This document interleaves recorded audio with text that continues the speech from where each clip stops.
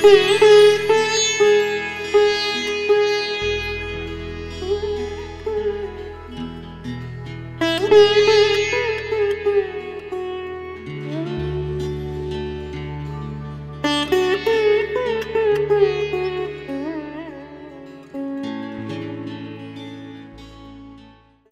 morning, welcome to the class again.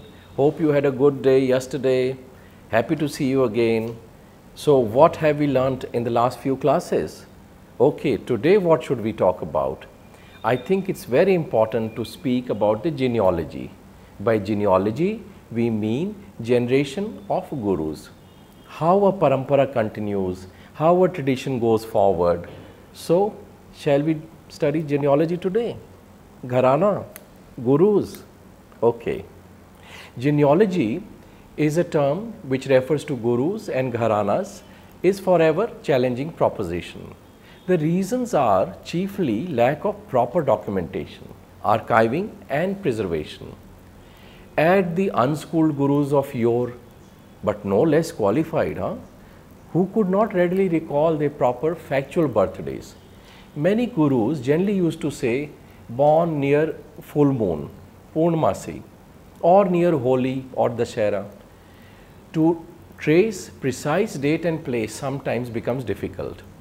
Thus, most genealogies must keep margin for human factors and loss of records and authentic documents.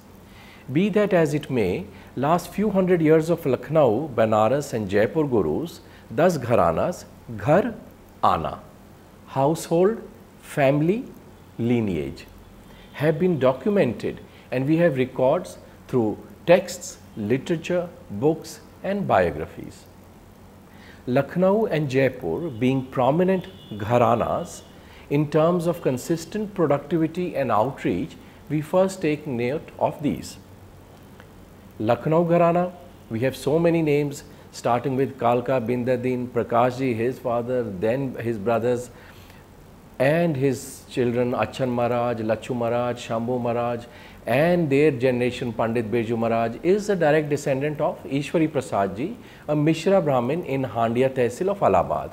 It is said that Lord Krishna appeared in his dream and asked him to re-establish Kathak Nritya, Natwari Nritya.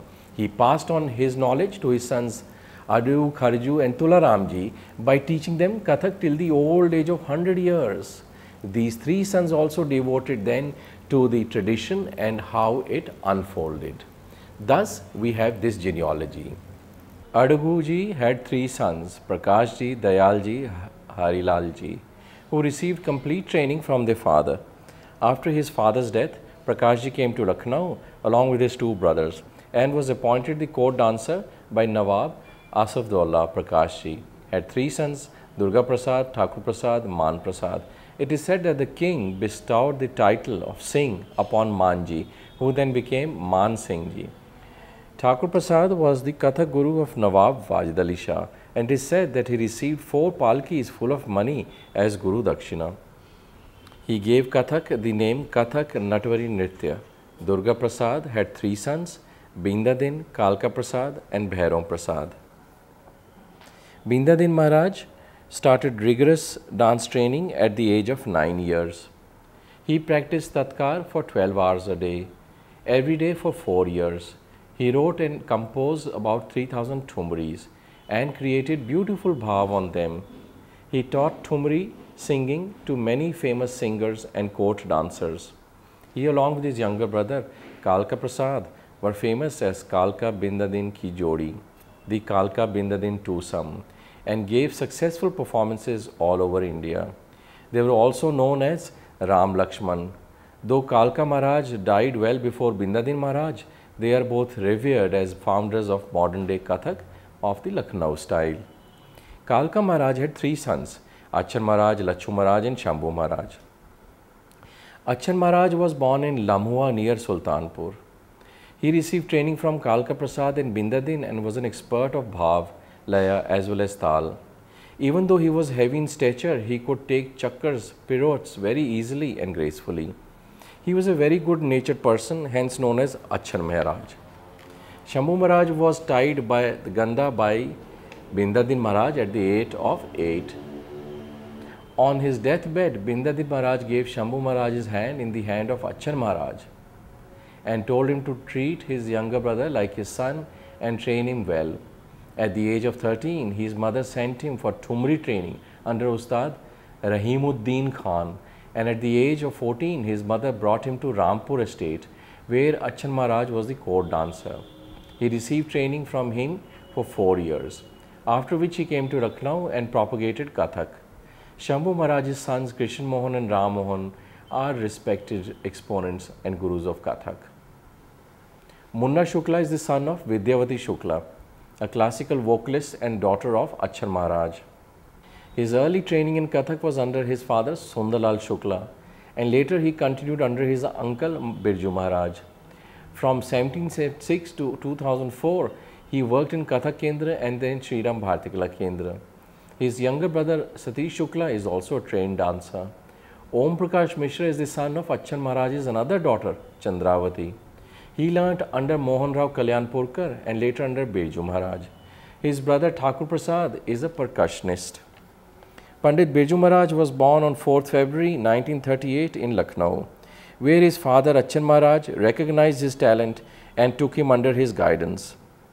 His uncles Shambhu Maharaj and Lachu Maharaj also taught him Kathak at an early age.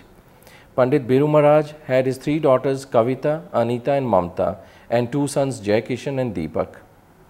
Kavita, though a very talented dancer, learnt only for her creative satisfaction and never took it up professionally. Anita is a painter and artist. Jai Kishan, Deepak and Mamta are professional Kathak dancers, carrying forward the family tradition. Mamta is more inclined towards teaching while Jai Kishan is an established choreographer in his own right. Deepak, the youngest of the five, is a successful solo dancer. Jai Kishan's son Tribhuvan is making a name for himself as an upcoming Kathak dancer. Jaipur Gharana From 11th century onwards, Jaipur's colorful palaces and people bespeak of a colorful but continuous history. From the times of the Kachwas, Jaipur as a region saw many kings who made Amer their citadel of power and capital. By natural location, its height commanded a view that was unparalleled in the entire kingdom and also that arose high atop all terrain. This region thus attracted many settlers and many battles were fought and it was only during times of Raja Savai Jai Singh 1699 to 1743, Savai Man Singh 1745 to 80 and his younger brother Savai Madhav Singh 1861 to 1922 that Katha got a place of honor. Amber also became important through Mughal alliances, especially when Akbar married Princess Jodhabai. Thus, Amber and Jaipur region grew in importance and attracted many bards and bands, crafty people in statecraft and craftsmen. Among these were many dancers and singers from Churu Sujanpur in Bikaner kingdom, another important kingdom of the desert and some bards and dancers hailing from the Shekhawati Mandava region, from where many prominent Sardar and Marwadi families arose. These families encourage art of dance and music at weddings and mundan tonsure ceremonies, and when they came in contact with Mughals, some practices from these families came to the courts. Jaipur gaining prominence meant more opportunities in Jaipur, and thus some artists left other regions and flocked to Jaipur in search of patronage. Over 200 years, 1750 to 1950, Jaipur Gharana of Kathak came of age. This school places more importance on the technical aspect of the dance with elaborate and complex footwork, multiple spins, complicated compositions in different talas and grand tarana. There is more emphasis on fluency, tayari, virality and greater use of long intricate rhythmic patterns. The dance is mainly composed on parmelu bols there is greater incorporation of composition from the Pakhavaj such as Parans. Courts meant courtesans too and many court smaller ones encourage, nay, vied with each other to keep qualified courtesans so as to enhance their pelf and power amongst each other. Some famous courtesans of the period were Gulab Rai, Anand Rai, John Rai and Diljani. Some dancers were also attached to Govind Deoji temple and daily worshipped their idol through song and dance. One important source of such activities in courts of Jaipur was the pothis, traditional manuscripts handwritten by court chroniclers. A concise form is still used in Rajasthan for keeping annual accounts. Most of these pothis are in Sanskrit dating to mid 15th century and provide conclusive accounts of the times. In addition to fillip to arts and crafts, the idea of institutionalized arts, Gunijan Khana, literally meaning place for the scholarly and artificially gifted, was created and under Raja Savai Jai Singh, over 700 artists were employed in this Gunijan Khana. Under Raja Savai Pratap Singh, 1778 to 1805, by some accounts 1803, the Gunijan Khana reached its peak under Savai Madho Singh. From available records of Gunijan Khanas, we can assess how important arts were in Jaipur court under Maharaja Savai Madho Singh. Second, there is record of 10 male Kathak dancers and about 20 female dancers. 20 sarangi, the drone-like instruments that keeps constant and continuous refrain of a melody so critical to the art of elaboration and innovation on the spot in Kathak by way of playing say lehra, literally waves of unending music, players. Jaipur Gharana evolved from temple Kathak and is known for its laikari rhythmic influence. Bhanuji, a Shiva devotee, learned the dance from a holy man and imparted his knowledge to his son Maluji. Grandsons Laluji and Kanhuji went to Brindavan and became Krishna devotees. Kanhuji's grandson Girdharji settled in Jaipur and thus was born the Jaipur Gharana. In this style of Kathak, Girdharjis combined the Tanda of Shiva and Lasya of Krishna. The main branch of Jaipur Kathak begins with Girdharji, whose two sons, Hari Prasad and Hanuman Prasad, can be called as founding fathers of this style in the last century. Hanuman Prasadji had three sons, Mohan Lal, Chiranji Lal and Narayan Prasadji. To them, Jaipur Gharana owes much as each contributed immensely. Narayan Prasad's sons, Charan Giridhar Chand and Tej Prakash Tulsi were trained by him. Shamlal, Chunilal, Durga Prasad and Govardhan were cousins of Hanuman Prasad and well-known Kathak exponents of the Jaipur style. The name Jailal of Jaipur is hailed as the doyen of dance of this gharana. He was born in 1885 and his elder brother was Sundar Prasad, both sons of Chunilal. They are also of immense significance as they taught many students in pre-independent and post-independent India. In fact, a gharana was decided on the number of students it had. In the important seminar on Kathak, hosted by Kathak Kendra in 1979, when Mohan Khokar was secretary of Sangeet Natak Akademi, it was discussed who all could be called a guru or ustad. This was akin to such a gathering in Jaipur in 1895 during the reign of Maharaja Savai Man Singh, where who could be a, called a guru or given a title of Maharaj of Kathak was deliberated upon. Thus, one having over 100 students like Bindadin of Lucknow was awarded the title Maharaj. Hence, his offsprings and family like Birju Maharajji continue to use this title although they are originally Brahmins called Mishra. His original name Brij Mohan Mishra, popularly Birju Maharaj. Jailal's son Ram Gopal and daughter Jai Kumari were both trained by their father. Ram Gopal trained his son Rajkumar Mishra and daughter Kajal Mishra in Jaipur style.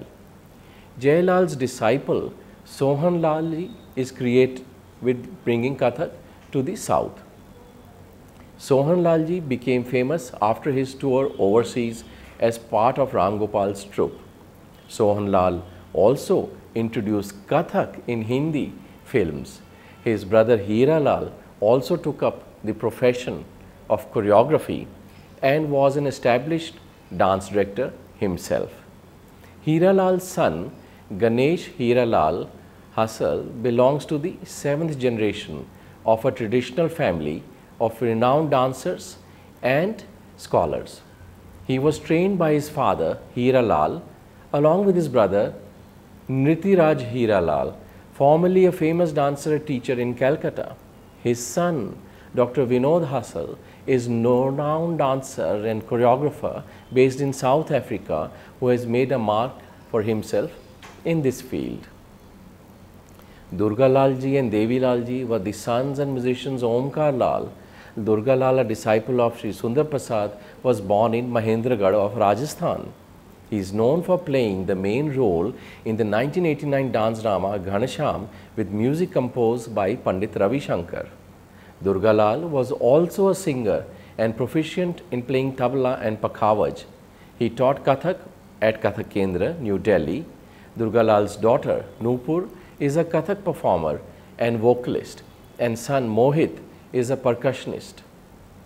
Durgalal's brother and initial guru, Devi Lalji, was a brilliant Kathak dancer. Both brothers died young. Devi Lal's wife, Gitanjali Lal, her son Abhimanyu and daughter-in-law Vidhi carry on with the tradition.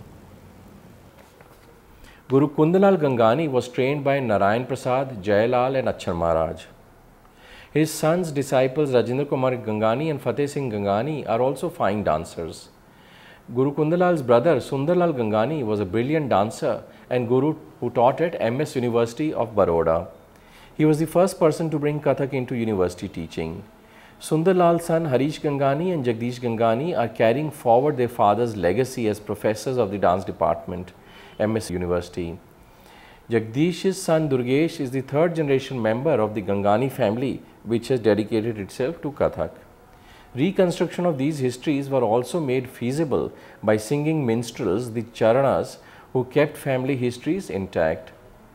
Thus we see tradition of Pabuji Nepad or scroll form of storytelling very popular in medieval and modern Rajasthan.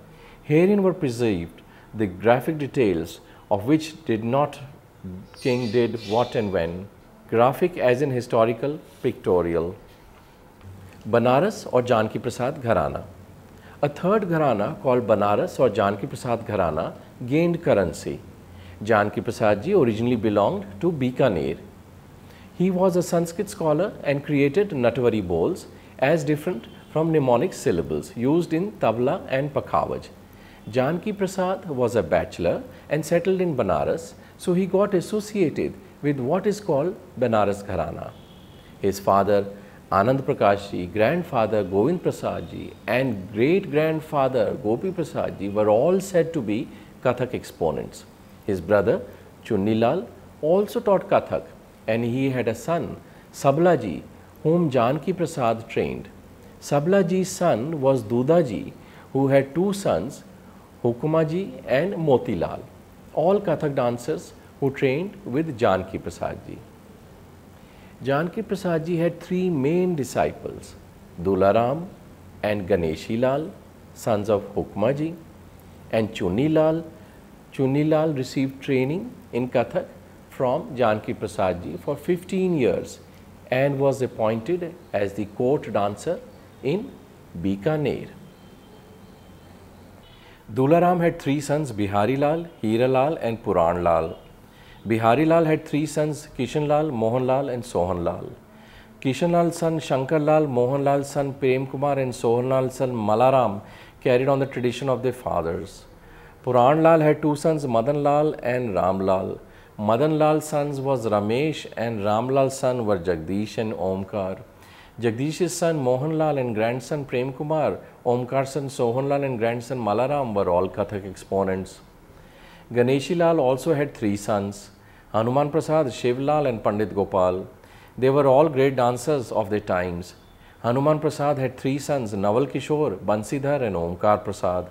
Shivlal also had three sons, Sukhdev, Durga Prasad and Kundan Lal. Pandit Gopal had only one son, Krishan Kumar, of whose three children, Ashok was a dancer. Naval Kishore's son Ghanshyam, Om Prasad's son Govind Prasad, and Bansidhar's son Rai Sahab and Rajkumar continued the family gharana.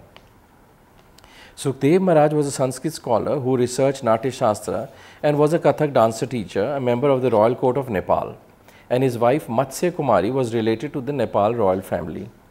In the 1920s, Sukhdev Maharaj met Tagore who encouraged him to revive Kathak and elevate it to the dignified status. Sukhdev Maharaj introduced reforms to revive Kathak by including religious elements, unlike what the Nautch girls did, and it slowly became popular. He also taught Kathak to his daughters Alokananda, Tara, Dhanno, later Sitara Devi, and sons Chaube and Pandey.